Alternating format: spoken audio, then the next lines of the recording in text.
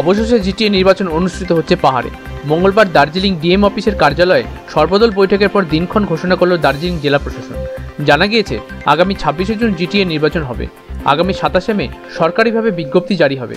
Vote গণনা ও ফল প্রকাশ হবে উনত্রিশ তারিখ। এই মর্মে বিজ্ঞপ্তি ঘোষণা করেন জলপাইগুড়ি বিভাগীয় কমিশনার অজিত রঞ্জন বর্ধন। তিনি জানান, আগামী সাতাশে মে সরকারিভাবে জিটিএ নির্বাচনের বিজ্ঞপ্তি প্রকাশ হলেই শুরু হবে মনোনয়ন পর্ব। সাতাশ তারিখ থেকে সাত দিন মনোনয়ন জমা দেওয়ার পর্ব চলবে। এরপর প্রত্যাহার স্ক্রুটিনি পর্ব পেরিয়ে ছাব্বিশে জুন ভোট। এর জন্য দার্জিলিং ও কালিম্পংয়ের মহকুমা শাসককে অতিরিক্ত রিটার্নিং অফিসারের দায়িত্ব দেওয়া হয়েছে। গণনা ও ফল প্রকাশ হবে আগামী উনত্রিশে জুন। দার্জিলিং থেকে মৃণাল রানার রিপোর্ট, উত্তরবঙ্গ সংবাদ। সমস্ত খবরের ভিডিও আপডেট পেতে সাবস্ক্রাইব করুন আমাদের নতুন ইউটিউব চ্যানেল উত্তরবঙ্গ সংবাদ টিভি।